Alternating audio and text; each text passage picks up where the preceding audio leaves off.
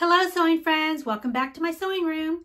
Today I want to show you I finished a couple of dresses and this is the uh, black with the floral print that I that I showed you in my last video and I finally finished it. I'll let you see the full length. I like wearing cardigans but I'll show you the dress without the cardigan. This is my pretty pin tuck dress. The pattern is linked below in the description box.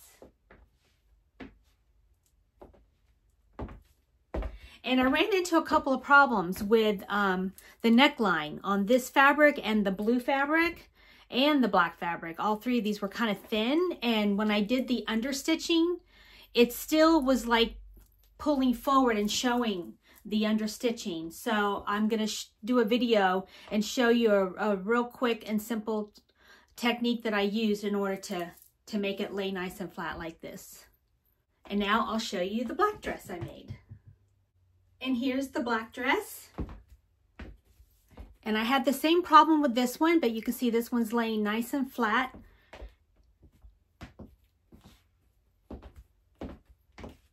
I've been wanting a little black dress and I finally have one. I had to settle on this fabric because I just couldn't find any good knit fabric that's a little thicker than this. I'm going to still keep my eye out looking for some better fabric, but this came out good once I did the little technique to make it lay flat and I'm gonna have a video out soon showing you how I made the neckline lay flat coming up very soon.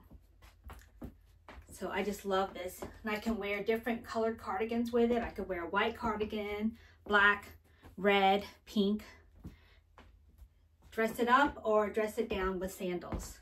So I just love it. Can you see the little pin tucks here? So cute. I love it. It's super comfortable in the knit fabric. When I make this dress out of cotton fabric, it, it lays nice and flat. I didn't have this problem, but for some, some knits, I have to do this technique to make this lay flat.